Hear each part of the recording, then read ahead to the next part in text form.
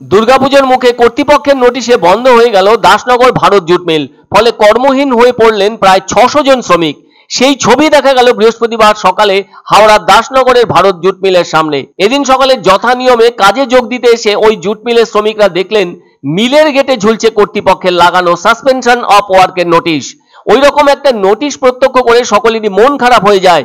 সেই সঙ্গে তারা ক্ষোভে ফেটে পড়েন। এদিকে কর্মীদের অভিযোগ, ওই মিলের তাঁত বিভাগের শ্রমিকদের অতিরিক্ত কাজ করানোর জন্য চাপ দেওয়া হচ্ছিল।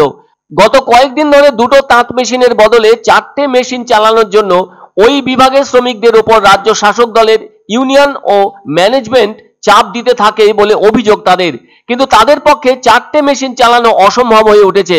আর তাই বুধবার ওই বিষয় নিয়ে তাঁত বিভাগের শ্রমিকদের ওপর চাপ দিতে থাকে আইএনটিটিউসি ও মিল কর্তৃপক্ষ।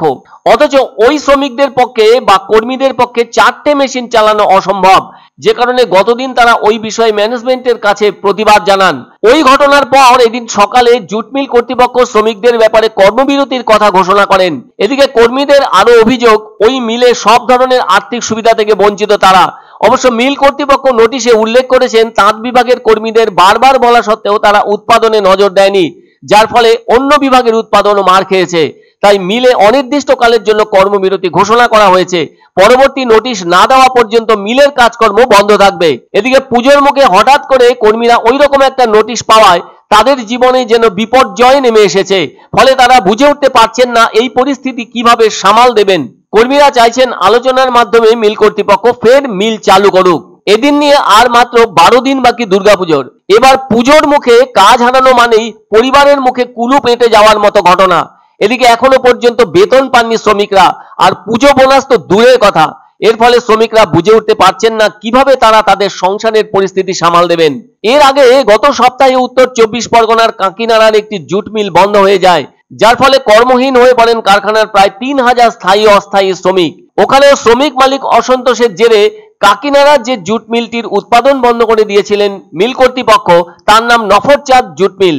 যার জন্য পুজোর মুখে কর্মহীন হয়ে পড়েছেন ওই মিলের প্রায় তিন হাজার শ্রমিক। গত শনিবার ওই মিলের ভেতরে শ্রমিক মালিক অসন্তোষকে কেন্দ্র করে চরম বিশৃঙ্খলা দেখা দিয়েছিল। এরপরই উৎপাদন বন্ধের সিদ্ধান্ত নেন মিল কর্তৃপক্ষ। অভিযোগ ওঠে, শ্রমিকদের নতুন বিভাগে স্থানান্তরিত করা হচ্ছে, যার ফলে পুরানো বিভাগ থেকে নতুন বিভাগে গিয়ে শ্রমিকরা কাজ করতে পারছেন না। এই বিষয়টি কর্তৃপক্ষকে জানাতে গেলে তাদের রিজাইন দিয়ে বাড়ি চলে যেতে বলেছেন মিল কর্তৃপক্ষ। সেই সাথে দোসরা অক্টোবর থেকে সতেরোই অক্টোবর পর্যন্ত মিল বন্ধ রাখার সিদ্ধান্তও নেন মিল কর্তৃপক্ষ। তাহলে দেখা যাচ্ছে আজ থেকে পাঁচ দিন আগে এমন সিদ্ধান্ত কর্তৃপক্ষ নেওয়ায় এতগুলো পরিবারের পুজোর আনন্দ যেন মিয়ে গেছে শ্রমিকদের।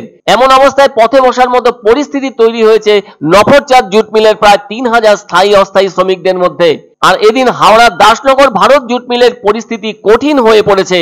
শেষটাই কি হয় সেটাই রইল দেখার। বন্ধ করে দিল শ্রমিক, এখন পথে পথে ঘুরবে। আমরা এরপরে দেখব, যদি না হয় আমরা অনশন করব গেটের সামনে। আমরা বৃহত্তর আন্দোলনে যাব, আমরা অনশনে বসবো। যতক্ষণ না সরকার পক্ষ থেকে এসে ডিএলসি থেকে এসে আলোচনা করে প্রশাসন থেকে আমরা গেট থেকে উঠবো না। আমরা সব শ্রমিকরা চাই যে মিল সুস্থভাবে চলুক, মিল সুস্থভাবে চলুক। কিন্তু আমাদের যে দাবিটা আছে, আমরা দুটো মেশিন দুটো মেশিন ছাড়া, আমরা চারটে মেশিন চালাবো না।